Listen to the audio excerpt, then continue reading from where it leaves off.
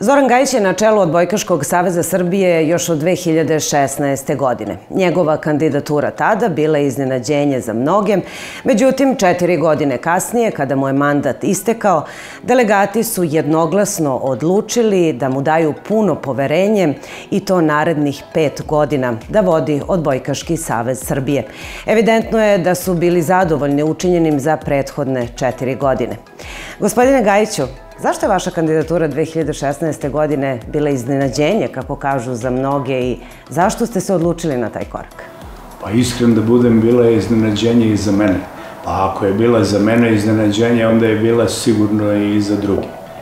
Nisam planirao ovaj, da, da se bavim predsednikovanjem, ali je sticaj okolnosti bio takav i što bi se reklo neki odbojkaški istorijski moment se stvorio, da je bilo da, eto, sam zaključio u saradnji sa, sa, sa svojim sadašnjim saradnicima, pre svega sa Ivanom Kneževićem, koji je sad generalni sekretar, da bi to trebalo učiniti.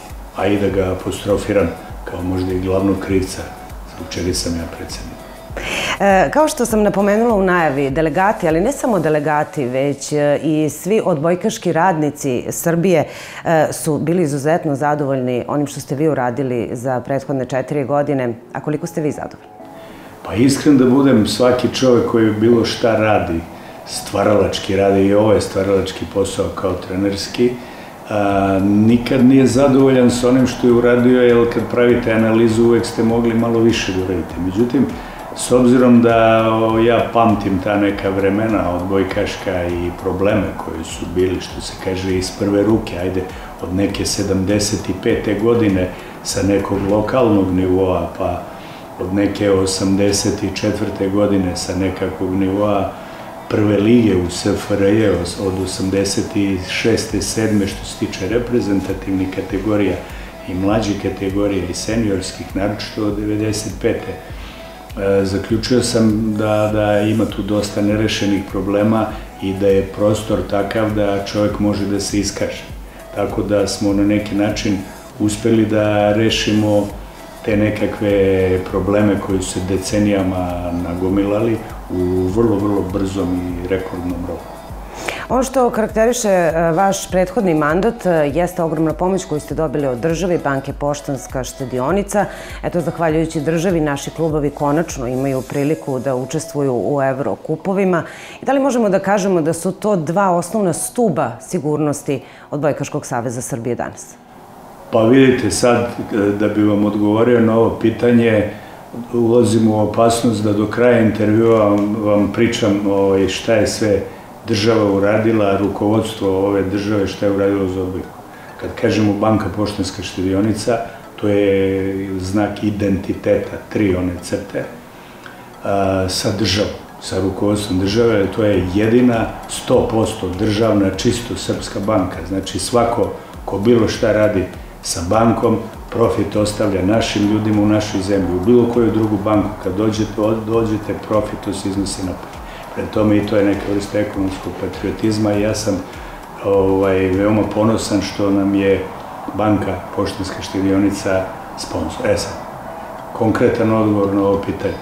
Znači, bukvalno sve što smo obećali u takozvanoj predizbornoj kampanji 2016. godine, gospodin Ivan Knežević i ja i zajedno sa naš tim koji je bio, da ćemo pomoći klubovima koji su u jako teškoj situaciji, i bili su decenijama uvek, nisu bili miljenici ni jedne vlasti. U zadnjih 50-60 godina odvojka je uvek bila poslednja na, na, na spisku da dobije nekakav novac. Da ćemo da ispeglamo dugove, koji su dugovi bili oko milioni šestotina hiljada evra za medalje koje su naši, naši treneri i naši reprezentativci i reprezentativke ovaj, osvojili da ćemo raditi na tome da završimo trenažni centar, neki projekat je bio, to je stajalo 10 godina, uspeli smo da uz razumevanje državnog rukovodstva da se to desi i da radimo na tome da to bude u Beogradu. I mnogo, mnogo drugih sportskih stvari, zaista bi nabrajanje otišlo u nedogled. Ali ovo što želim da se zahvalim rukovodstvu države, predsedniku, predsednici vlade i tako dalje, to je da smo uspeli da ispeglamo taj dug od milijoni šesto hiljada, da smo dobili da zidamo taj centar, da smo u dva navrata dobili pomoć za klubove. Znači, moram da vam kažem, pošto te neke od tih ljudi znam po 40 godina, da su bili u pozitivnom šoku, nisu mogli da veruju kad smo im prebacili novac, pitaju šta je ovo. Pa, reko, dobili od države. Pa kad smo drugi put im prebacili novac, pa šta je sad ovo? Pa odao predsednik Vučić. Znači, jednostavno je na neki način e, videli su da, da, da zaista neko brine o njima. Znate, nije problem samo u novcu. Problem je da neko brine o vama, jer ti naši divni sportski radnici i od muhu, gde spadaju i odbojkaški radnici, su zaista ljudi gde je teško izmeriti njihovu količinu radnih sati koje oni poklanjaju radeći u tim klubovima. Kada ste vi bili trener, gospodin Aleksandar Boričić bio je na mestu predsednika Odbojkaškog saveza Srbije. Onda kada ste vi došli na njegovo mesto, on je sad na poziciji predsednika CEVA i nekako ste dugo upućeni jedan na drugog. Koji vam je savet dao kada ste došli na njegovo mesto?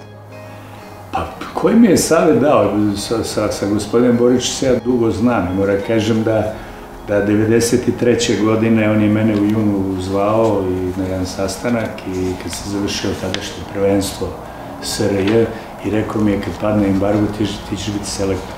Ja sam rekao idem ja u Aris, pod ovo ide, ali upiši tamo klauzulu da možda ja ovo radim. Čovjek održao obećanje i on je bio taj koji me praktično doveo tu u selektor. I, ovaj, I mi smo to radili tako kako smo radili. Uspeli smo da napravimo tih za tih 7-8 godina svake godine po jednu medalju i da praktično utremo put odbojici kao tako i kako znamo ovaj danas. Pa šta mi je rekao? Ništa specifično mi nije, ništa specifično mi je, nije rekao. Rekao mi je da mogu da imam svaku podršku ovaj, njegovu. Ja sam otišao posle izbora kod njega i rekao mu je da rekao mu da to što su bili izbori bili su, da je on podpredsednik da je on e, počasni predsednik Saveza, da je on kao naš čovek predsednik cela, da što se tiče Saveza na čelu sa mnom ima punu podršku, da ja isto to očekujem i od njega kao počasnog predsednika i mislim da fantastično funkcionišemo na, na, na korist srpske odbojke i to se vidi i sada, gde mi imamo jako, jako puno ljudi u svim komisijama Evropske konfederacije. E, isto se trudimo da u Svetskoj konfederaciji isto imamo nekoliko naših važnih ljudi, da je on takođe jedan od e, podpredsednika, mislim čak veoma važan za razvoj podpredsednik. I ovaj, imamo, imamo velike, velike obostrane koriste. Nakon izborne skupštine najavili ste jedan vrlo ambiciozan petogodišnji plan. E, šta obuhvata taj plan i šta je neophodno da bi se ti planovi ostvarili? Pa iskreno da vam budem, tu postoji nekoliko, nekoliko pravaca. Znači, jedan od pravaca je funkcionisanje Saveza, to imamo zahvaljujući Ministarstvu omladine i sporta, znači država, kroz Ministarstvo omladine i sporta i Olimpijski komitet da imamo besprekornu saradnju.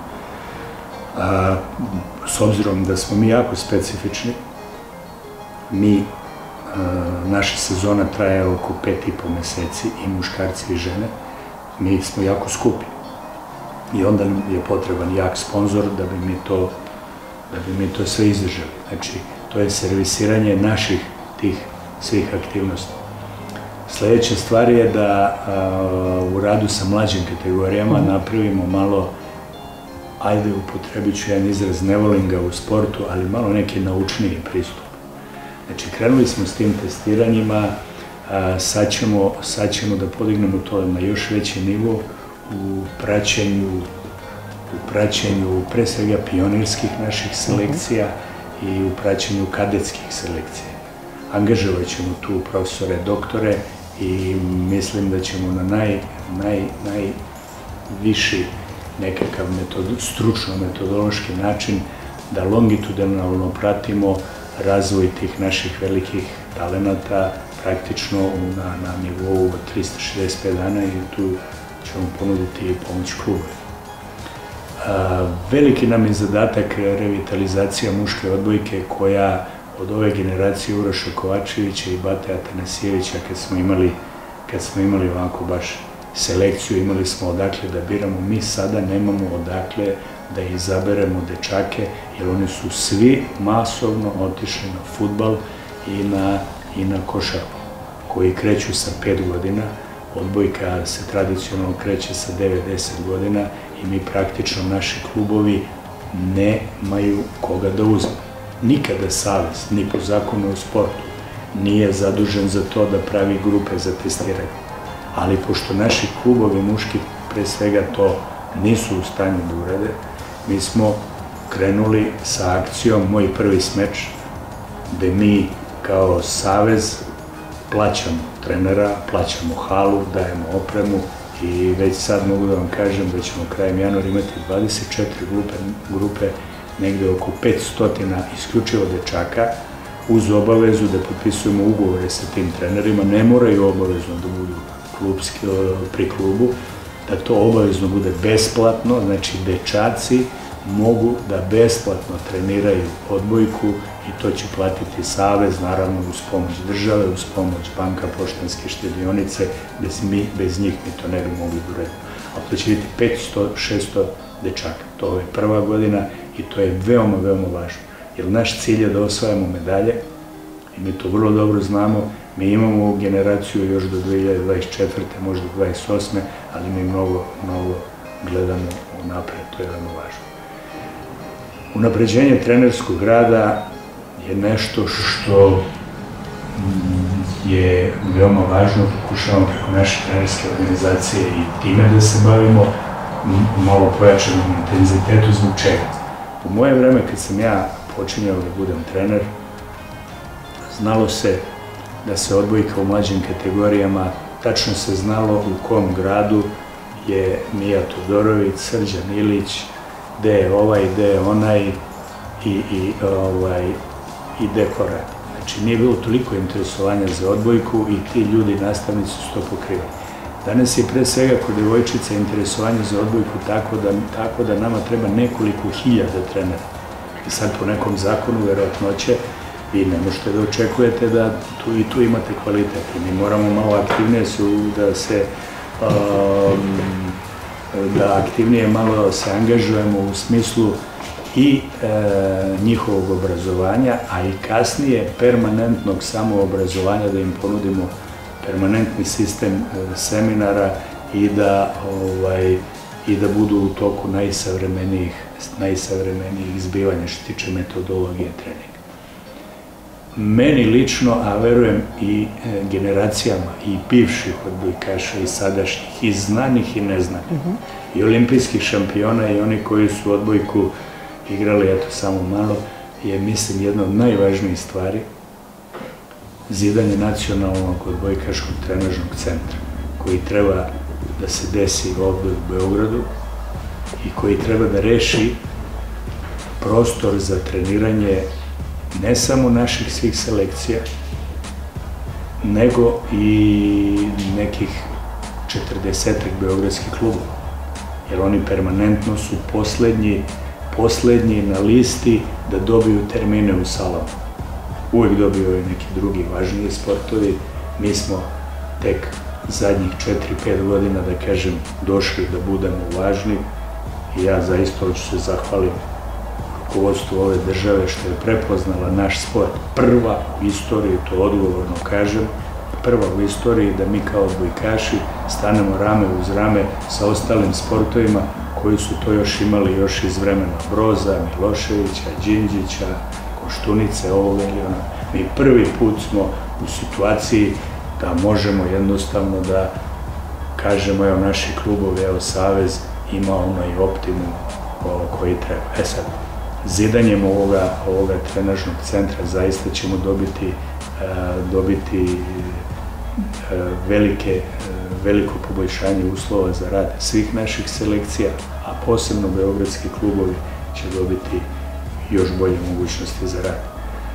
Isto tako dobit ćemo jedan prostor gde će svi odbojkaški ljudi iz cele Srbije, kad dođu u Beograd, znati da je to njihova kuća, tu će moći da popiju kafu, da ručaju, da se nađu, da pričaju kao kad sednu odbojkaški ljudi, pa raspredu priču o odbojici do ujutru, znači tu će biti mesto okupljanja i za trening, i za rehabilitaciju, i da se prespava, i za kafu, i za ovo, i za ovo. Prebacit ćemo i prostorije Saveza tamo, i našeg, i Beogradskog, i trenerske, i sudijske, znači jednostavno to će biti naša odbojkaška kuća. To ćemo napraviti sigurno. Zahvaljujem se, kažem, još jednom predsedniku rukovodstvu države što nam je, prepo, što je, što je prepoznala tu potrebu. 2021. godina pred Odbojkaški savez Srbije postavlja nove izazove, slede nam velika takmičenja, olimpijske igre, Liga nacija, Evropsko prvenstvo za žene. E, kakva su prvo očekivanje na olimpijadi? Pre svega da, da, da se maksimalno pripreme, da budu zdrave, da se sve odazovu, koliko znam, hoće. I da, i da ovaj, uvek, uvek je pametan cilj finale pametan cilj je finale i onda u finalu da se odigra maksimalno. Šta drugo da kažemo kad smo vice šampioni olimpijskih igara? Đavolski teško, znači sigurno da ima jedno, pa, osim afričke ekipe, od svih 11 ekipa svaka svako će moći da pobedi. To je sigurno. To je sigurno možda predstavnik Južne Amerike i, i mada Južne Amerike, to je to je, ovaj, to je Brazil.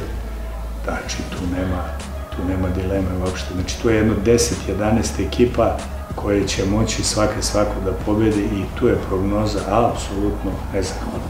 Pre svega je u, u igri psihologija. Računamo na naše iskustvo od igravanja mečeva u teškim trenucima, finalnim utakmicama i e, imali smo problem s obzirom na COVID da je olimpijada pomerena za godinu dana. Naš, naš kapiten je najavila da će posle 2020. da se oprosti, ali eto, mi smo srećni da će odigrati ako bude olimpijada, tako da je to, kažem, cilj pre svega da se pobedi četvrt finale, pa polufinale i da su finale odigra maksimum. Takođe veliki izazov organizacija Evropskog prvenstva za žene u Beogradu. Dokle je ta organizacija stigla i e, uskoro čini mi se e, u planu i prvi sastanak organizacijonog odbora? Pa jeste, treba da napravimo sastanak organizacijonog odbora, da definišemo gde šta kako, ali mi smo već od 1. januara formili preduzeće, a, da Evropsko prvenstvo Eurovolej 2021, imamo tu nekoliko zaposlenih ljudi, koji malte ne svakodnevno već rade na kompletnoj toj problematici. Je tu papirologije bilo u saradnji sa Ministarstvom omladine i sporta koja nam je pomogla, malo nas vodi kroz sve te problematike pravno-formalne, tako da smo napravili to preduzeće, očekujemo formiranje organizacijonog odbora. Imali smo već sastanak četiri zemlje domaćina što se tiče zajedničkog nastupa i marketinga i trebalo bi da bude u svakoj zemlji. Bilo je kod nas, pošto su kod nas finale, pa onda idemo dalje u Bugarsku, u Rumuniju, u Hrvatsku i ovaj, da napravimo da napravimo zajedničku strategiju marketinškog nastupa. Što se nas tiče, sve je pod kontrolom, a ove operativne stvari, kažem, čekamo organizacioni odbor i naši ljudi rade sve. Hvala vam na ovom intervju. Ne znam da li se neko skoro ovako ispričao sa vama, ali čini mi se da smo dotakli negde sve segmente vaše karijere i da smo se prisetili nekih lepih stvari, ali i pogledali u napred kao onome što vas očekuje i što ne sumnjam da ćete u narednih pet godina uspeti da uradite. Hvala vam. Sve najbolje.